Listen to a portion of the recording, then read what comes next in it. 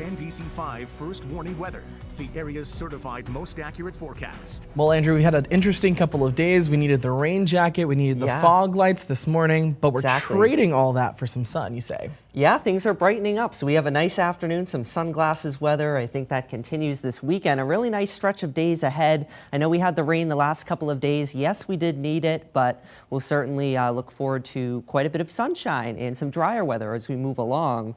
Want to show you how things look in the big picture on the Storm Tracker. High pressure is coming in from the north and west, so that's why we have a dry day, quite a bit of sun.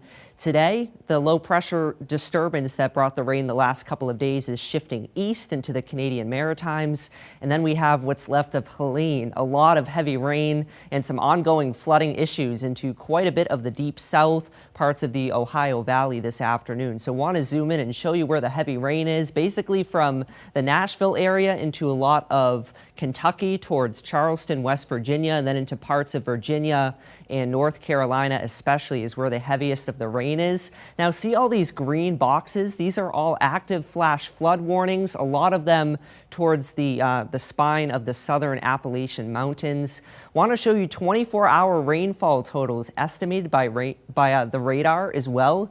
You can see into western North Carolina, western South Carolina, 6 to 10 inches plus in the last 24 hours. That's why there's still so much uh, ongoing flash flooding in those areas, two to four inches plus towards Nashville, and then even right towards the Atlanta metro area, over a half foot of rain estimated by radar. So still an active flash flood situation in that area. In terms of Helene, the latest, it's a tropical storm, wind at 45 miles per hour. It's expected to track north and west through tonight, and then basically this weekend, it's not going very far. It'll just kind of stall out over Kentucky. We're thinking the strong wind threat will be diminishing the next couple of days, and the threat for flooding rain will be diminishing this weekend as well, but that'll be a gradual trend. So I think still some heavy rain, still some flooding likely into the day tomorrow into parts of Kentucky, Tennessee, the Ohio Valley. Into our region, though, as I mentioned, it's beautiful this afternoon. A lot of sunshine, especially for central and southern areas. A little extra cloud cover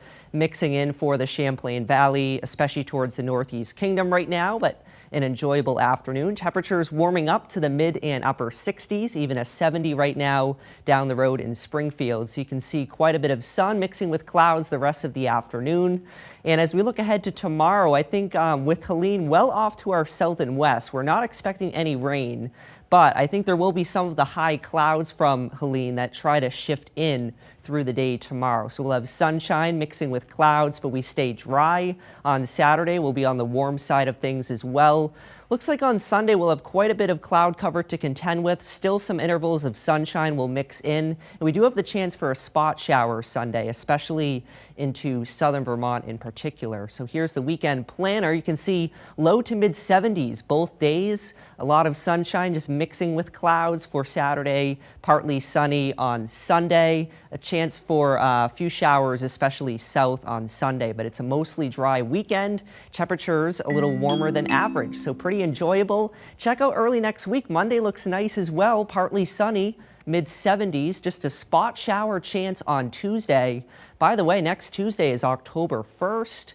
And then we track a cold front likely coming in on Wednesday, so lots of clouds, some showers possible that day. Perhaps a few showers linger into Thursday, but mid and late parts of next week, we cool off quite a bit back into the low to mid 60s. Adrian?